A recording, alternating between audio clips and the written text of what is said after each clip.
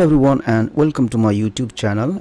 In this video today we will see how to change the default download location for google chrome. So stay tuned.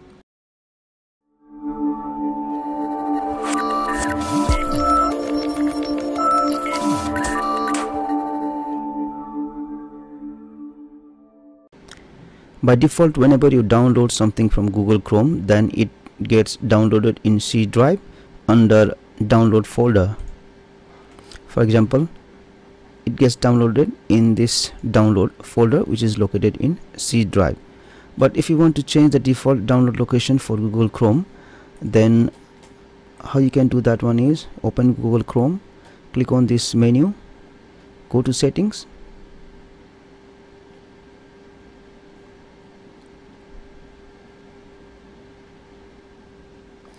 Scroll down and click on show advanced settings. Now if you see here under downloads right now the download location is in C drive in download folder. So if I want to change the download location then click on this change and you can select whichever location you want.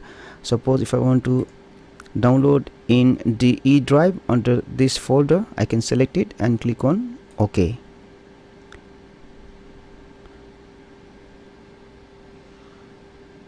now uh, once I do that one then I can see that the default download location for Google Chrome has changed. So in this way you can change the default download location in Google Chrome. Thank you for watching this tutorial. Please like share and subscribe to my youtube channel for more tips and tricks. Thank you